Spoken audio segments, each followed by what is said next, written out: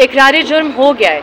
जिस दिन attorney general साहब आकर कहते हैं कि रिलीज़ हो जाएगा इतने दिनों में इकरार जुर्म उस वक्त हो गया अब उस बात से पीछे नहीं हट हट सकता कोई भी।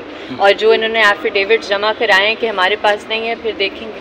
अगर कोई एजेंसी या कोई फ़र्द वाहिद अपने आप को कानून से अबव समझता है तो उसकी कोई इजाज़त नहीं है कानून के तहत, ना आइन के तहत और उनका फिर उसके मुताबिक ही एहतसाब होना चाहिए।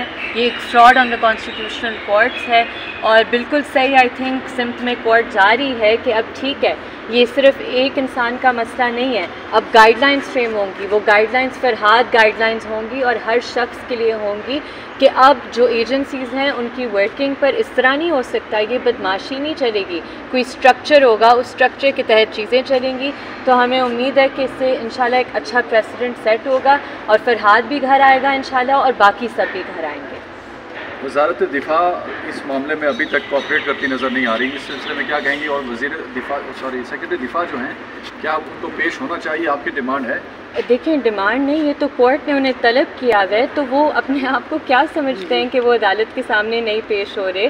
और हर दफ़ा जब मिसिंग पर्सन केस में उन्हें तलब किया जाता है तो वो बेचारे बीमार हो जाते हैं। अगर इतने बीमार है, घर चले जाएँ। ना कुर्सी पे बैठे हर दफ़ा बीमार हर दफ़ा छुट्टी हर दफ़ा बाहर इस तरह तो नहीं होता।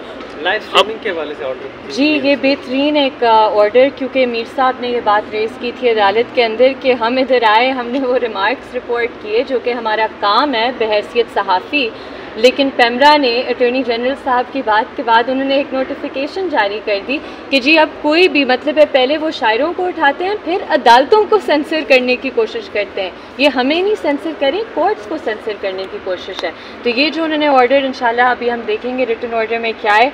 लेकिन अगर लाइव स्ट्रीम होंगे सारे मिसिंग पर्सन के केसेस तो जल्द से जल्द अकाउंटेबिलिटी भी आपने डायरेक्ट पॉइंट आउट किया था पॉइंट आउट किया था जबकि जो अटॉर्नी जनरल भी पेश हुए हैं या जिस तरह से पुलिस एहलकारान पेश हो रहे हैं। वो तो अभी तक मान ही नहीं रहे कि ना तो उनके पास हैं ना पुलिस के पास हैं।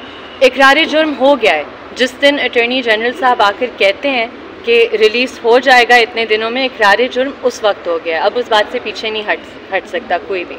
और जो इन्होंने एफिडेविट जमा कराए हैं कि हमारे पास नहीं है फिर देखेंगे। हम देखेंगे।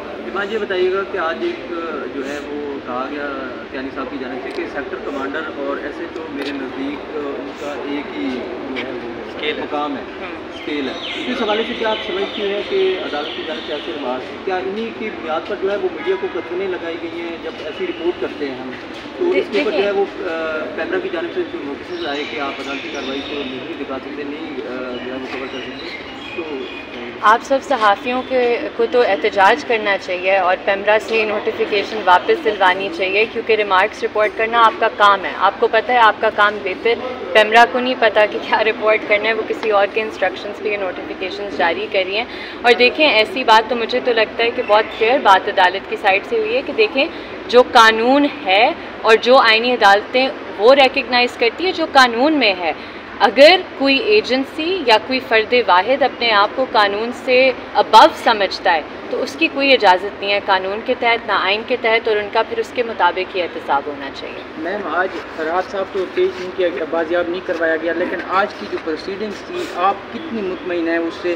क्या ये जो आज ना पेश करके ये जो एक नया जो है वो महाज आज खुला है, कोर्ट की प्रोसीडिंग भी लाइव उन्होंने कहा करेंगे तो क्या कहेंगे इस बात देखिए, मैं तो कह रही हूँ कि अगर अगर रियासत में कोई थिंकिंग है और वो सोच रहे हैं कि इसके रैमिफिकेशंस क्या हो सकते हैं तो वो ख़ुद अपनी गलती पर नज़रसानी करेंगे अगर वो कहते हैं कि ये गलती हुई है।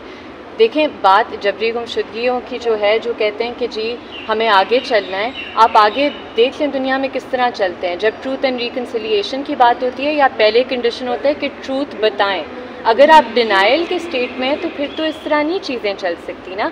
कोई सिस्टम है कोई निज़ाम है और अदालतों ने आइनी अदालतों ने अपना काम करना है जो कि बहुत अच्छे तरीके से वो जानती हैं और कर रहे हैं। क्या इस केस की जजमेंट जो ब्लोच लापता मिसिंग पर्सन हैं उनसे भी रिलेट करेंगे? जी सब मिसिंग पर्सन से रिलेट होगी। ये बात आज वाजे तौर पर अदालत पर की हुई है कि कंसिस्टेंसी होनी चाहिए जजमेंट्स में। एक मतलब एक व्यू आना चाहिए मिसिंग पर्सनस पर, क्योंकि एक इंसानी हकूक़ का मसला है। तो हमें तो उम्मीद है कि एक दफ़ा ये सेटल हो जाए और आइनी अदालतें खड़ी हो जाएँ इस प्रिंसिपल पर तो बहुत कुछ बदल सकता है। रोज़नामा कुदरत की वीडियो देखने के लिए अभी यूट्यूब चैनल पर सब्सक्राइब करें और बेल आइकन पर भी क्लिक करें।